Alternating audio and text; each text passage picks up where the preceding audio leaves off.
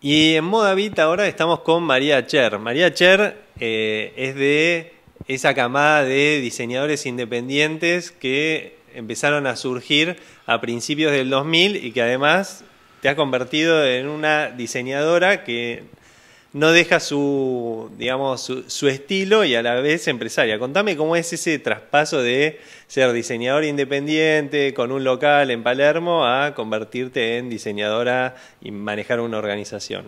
Bueno, ya hace unos años que, que, un poco se, se produjo este crecimiento. Si bien seguimos creciendo, yo lo que creo es que esto es una decisión personal y aparte es eh, una posibilidad de poder pensar en un negocio más grande. También es una posibilidad de capital en su momento, porque para empezar tenés que tener capital.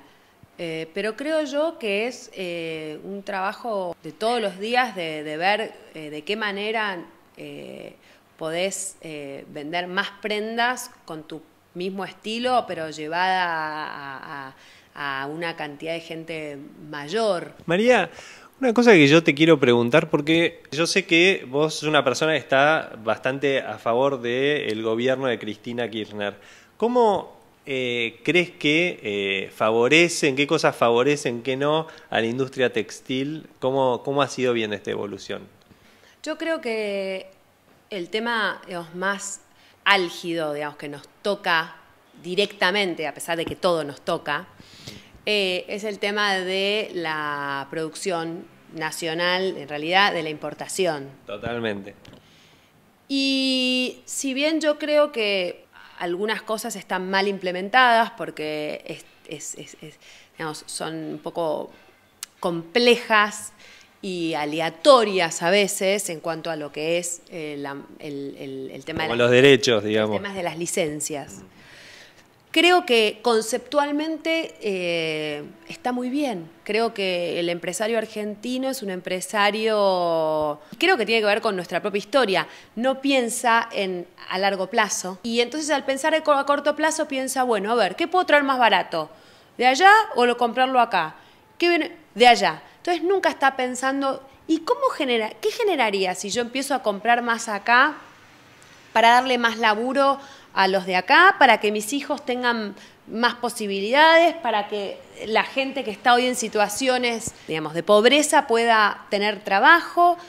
Y en realidad por la historia, porque ya se ha apostado y no se ha después devuelto esa apuesta en los empresarios o qué sé yo, toman la postura de hacerlo a corto plazo y no crear una industria argentina y no eh, trabajar con respecto a mejorar nuestras propias este, producciones, nuestra maquinaria.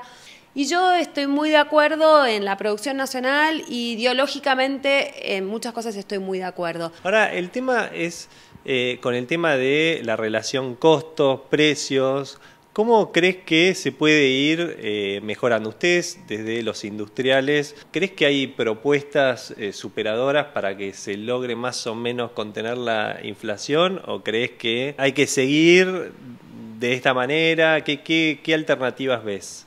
Yo no, quisiera decirte mucho porque siento que no entiendo tanto como para eh, contestarte el tema de la inflación y me parece que puedo decir una burrada.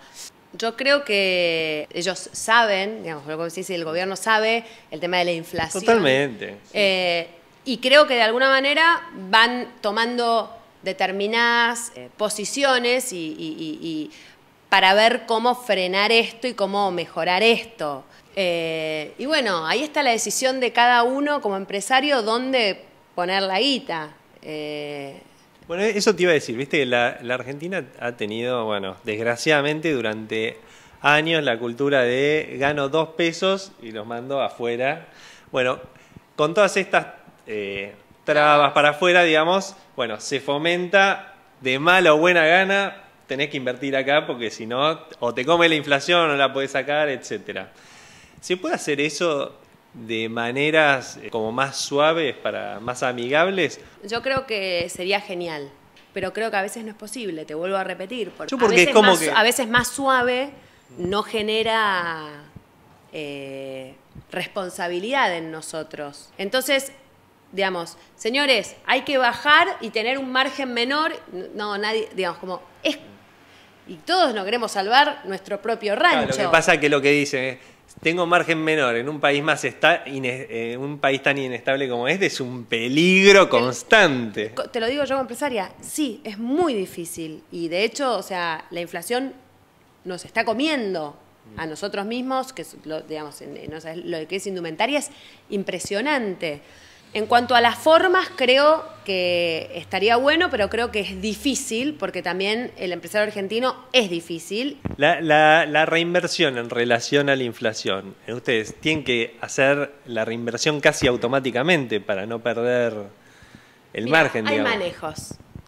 La verdad es que lo que tenés que... Sí, es así. O sea, es muy O sea, complicado. casi no podés pensar porque No. donde recaudás tenés que... Tenés que subir el margen. Y contame del día 1 a hoy, con todos estos cambios que han habido, ¿cuántos locales tenés hoy? Es una, esta es una buena respuesta para todo lo que vos me venías preguntando. Nosotros tenemos, creo que 11 locales en María Cher y creo que 10 locales o 9 en I Not Dead. Y esto no me pasó a mí sola, no nos pasó a nosotros solos. Entonces, un poco respondiendo a todas tus preguntas anteriores, yo por qué creo que algunas cosas se están haciendo muy bien, tiene que ver porque hubo mucho crecimiento. Y el crecimiento no fue porque tuvimos suerte, porque solamente tuvimos suerte porque la soja estaba cara. Muchas cosas se manejaron muy bien, porque la gente por algo tuvo que poner la- el dinero acá, y al ponerlo, esto es una rueda. Y si vos ves a un montón de empresarios eh, del rubro textil, vas a ver que crecieron un montón. Me interesa la visión, viste, de un industrial, porque en general todos los empresarios cuando les hablas de gobierno dicen de todo. Por eso, Bueno, da por eso yo defiendo tanto. Me parece que es una manera muy ingrata. Los argentinos somos muy ingratos, porque en vez de estar agradecidos de que hoy tenemos laburo, tenemos la posibilidad de, en vez de, de poder crear nuestras propias marcas, vos vas a otros países latinoamericanos y sabés que están las marcas de Estados Unidos, las marcas europeas, las marcas americanas, y no tienen industria nacional. ¿Por qué? Porque no tienen trabas. Y hay cosas que me parecen muy ingratas y cosas que me parecen como de, de- Primero, que tiene que ver con una posición ideológica, básicamente. Este, y esto es donde yo me paro y acá no, te- no transo, porque yo vengo de una familia que tiene que ver con una determinada ideología y por eso también apoyo a a este gobierno. Y después porque me siento que pudimos crecer y que yo pude dar laburo y que esa gente que está laburando, está laburando en blanco y son doscientas y pico de personas y hace unos años no tenían laburo. Obviamente que siempre podríamos estar mejor porque la inflación y porque no te permite y qué sé yo. Pero bueno, vamos por mejor, vamos por más. Y eso yo lo agradezco y por eso yo defiendo tanto y, digamos, y bueno, no sé, seré la piquetera de la industria, no me importa. Bueno, y para cerrar, sí, no puedo evitar eh, que me des un adelanto del BAF que viene ya.